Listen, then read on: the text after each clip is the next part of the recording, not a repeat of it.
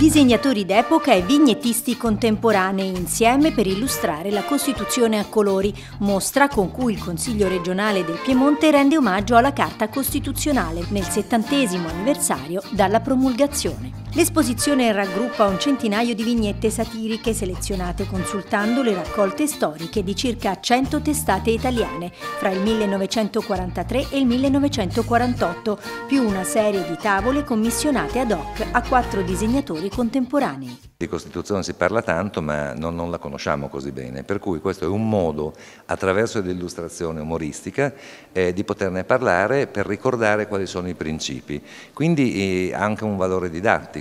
Tra le vignette d'epoca più curiose quelle disegnate da Federico Fellini con una striscia di Giacomino e la testa di Giuseppe Garibaldi che capovolta diventa il volto di Stalin, a cui si affiancano vignette inedite dei primi 47 articoli della Costituzione illustrati da quattro disegnatori contemporanei, Fabio Sironi, Lido Contemori, Marco De Angelis, Gianni Chiostri.